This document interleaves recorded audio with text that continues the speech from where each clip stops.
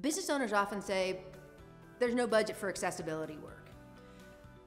What if there was a strategy that would elevate your brand, position you as a leader in your industry, increase ROI, and extend your market reach? You'd find the money for it, right? I certainly would.